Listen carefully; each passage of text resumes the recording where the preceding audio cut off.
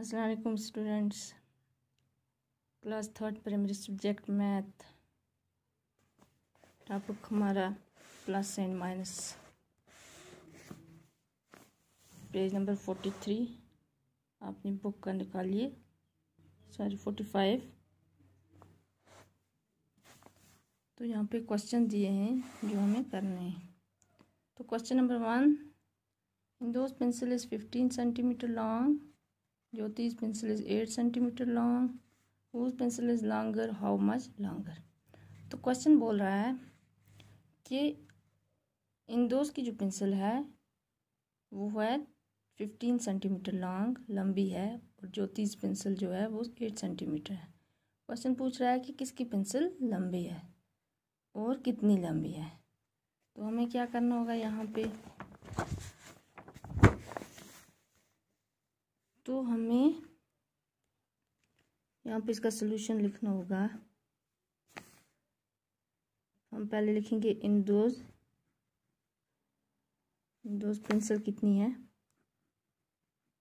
Sir fifteen centimetre इसके बराबर है फिफ्टीन सेंटीमीटर और ज्योतिष की पेंसिल किसके बराबर है? ज्योतिष पेंसिल किसके बराबर है एट सेंटीमीटर अब ये क्वेश्चन पूछ रहा है यहाँ पे हमें कि किसकी पेंसिल लंबी है और कितनी लंबी है? तो यहाँ पे तो ये साफ़ दिखता है इंदोज की जो पेंसिल है वो लंबी है, ज्योतिष की पेंसिल से। तो अब ये पूछ रहा है कितनी लंबी है? तो हमें यहाँ पे माइनस करना होगा। नाउ वी सब्सट्रैक्ट तो नाउ वी बस ट्रै तो हम लिखेंगे यहाँ पे फिफ्टीन माइनस करेंगे हम एट तो फिफ्टीन में से आठ जब हम माइनस करेंगे तो कितना बच जाएगा बच्चों? सात। तो इसका मतलब है जो इंदोज की पेंसिल है, वो एट सेंटीमीटर लॉन्गर है ज्योतिष पेंसिल से। तो हम यहाँ पर लिखेंगे Those pencil is 7 centimeter longer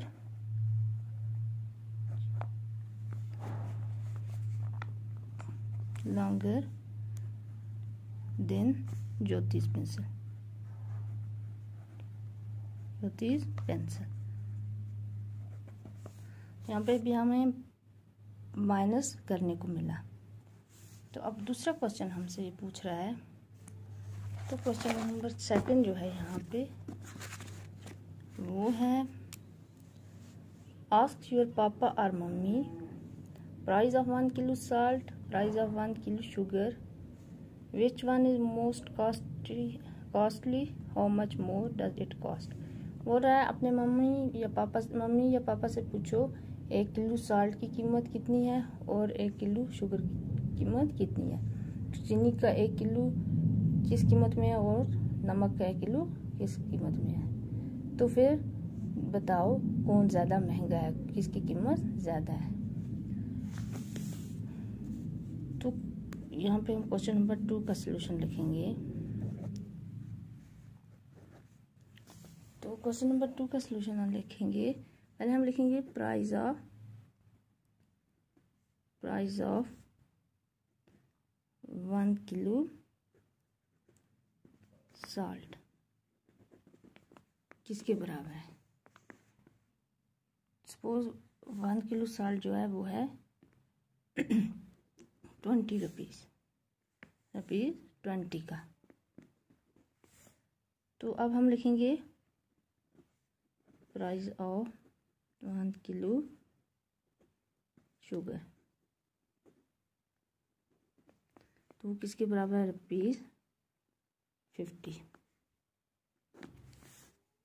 तो अब ये बोल रहा है which one is most costly तो कौन सा महँगा है? तो शुगर का जो किलो है वो फिफ्टी में है और सार का जो किलो है वो ट्वेंटी में है। तो इसका मतलब है शुगर जो है वो कास्टली है देन साल्ट तो हम लिखेंगे हम लिखेंगे, यहाँ पे भी हमें, यहाँ पे भी हमें क्या करना होगा? माइनस करना होगा। तो हमें यहाँ पे भी माइनस करना है। हम लिखेंगे फिफ्टी माइनस ट्वेंटी जब हम करेंगे तो कितना आ जाएगा? फाइव मिनट्स टू थ्री तो इसका मतलब है शुगर जो है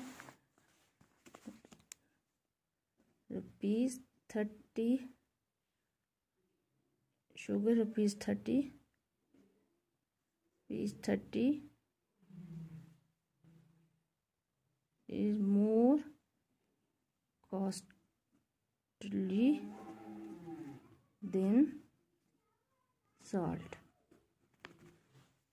तो शुगर जो है, वो तीस रुपीज़ महँगी है सॉल्ट से।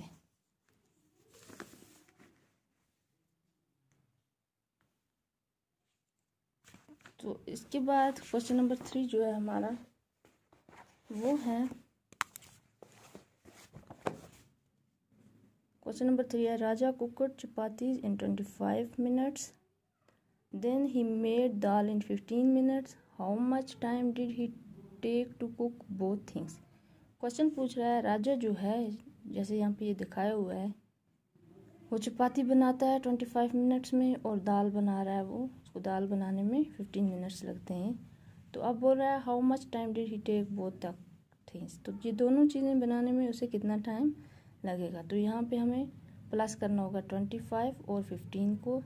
तो जितना भी आएगा तो वो उतना टाइम लगेगा राजा को ये दोनों चीज़ें बनाने में।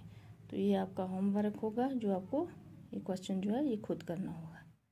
तो इतना क्लियर है? नेक्स्ट हम अगली क्लास में नेक्स्ट क्वेश्चन करेंगे। आज इतना ही। अल्लाह हाफ़